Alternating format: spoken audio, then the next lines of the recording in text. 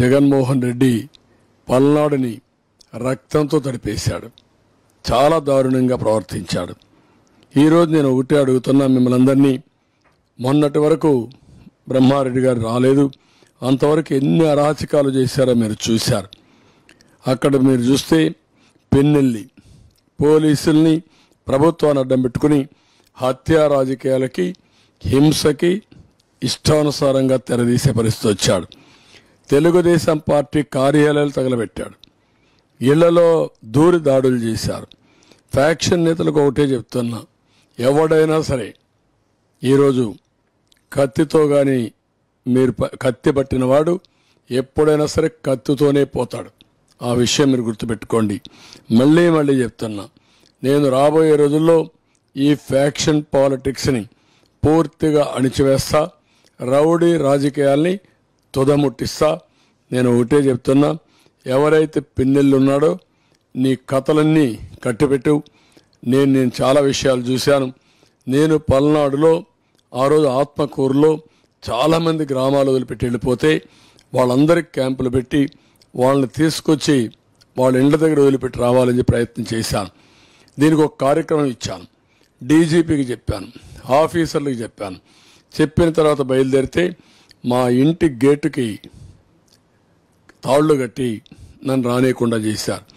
ఆ తాళ్ళే ఈరోజు వైసీపీకి పిన్నెళ్ళకి ఉరితాళ్ళు అవుతున్నాయి మీ రాజకీయ భవిష్యత్తుకి ఈ తాళ్ళే ఉరితాళ్ళు అవుతాయని చెప్పి కూడా హెచ్చరిస్తున్నా.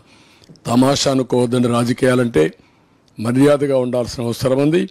మా చర్యలో మున్సిపల్ ఎలక్షన్స్ జరిగితే మా ఒక మాజీ ఎమ్మెల్యే బుద్ధా వెంకన్న బొండా మహేశ్వరరావు అదే సమయంలో అక్కడ ఒక అడ్వకేట్ కూడా వస్తే మీరు చేసిన దౌర్జన్యం ఇప్పటికి కూడా నాకు గుర్తుంది.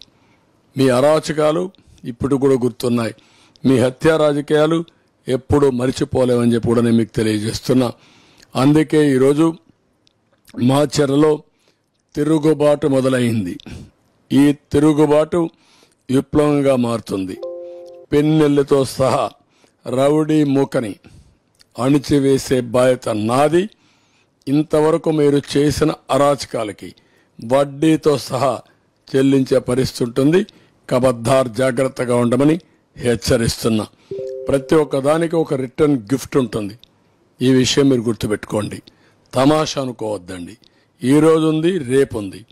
ఒకప్పుడు నేను దయదలిస్తే మిమ్మల్ని పట్టించుకోకపోతే మీ ఇష్ట ప్రకారం తయారయ్యారు.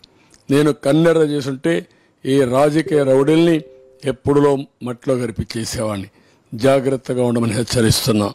ఏది చేసినా ఒక పద్ధతి ప్రకారం చేస్తా. చట్ట ప్రకారం ఎవడు తప్పించుకోలేడు.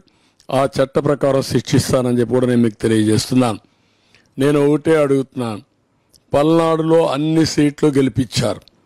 నమ్మి ఓట్లేసిన పల్నాడు ప్రజలకి ఈ సైకో జగన్ ఏం చేశాడని అడుగుతున్నా. గెలిచిన ఈ పిన్నెల్లి ఏం తెచ్చాడో చెప్పాలి. నీళ్ళు తెచ్చావా? ఉద్యోగాలు తెచ్చావా? ఈ ప్రాంత ప్రజలకు పరిశ్రమలు తెచ్చాడా? మీ గ్రామంలో రోడ్లు వేసాడా పల్నాడు ప్రాంతానికి నీళ్ళు ఇచ్చే ఒక్క లిఫ్ట్ కానీ ఒక్క ప్రాజెక్ట్ కానీ పూర్తి చేశాడా?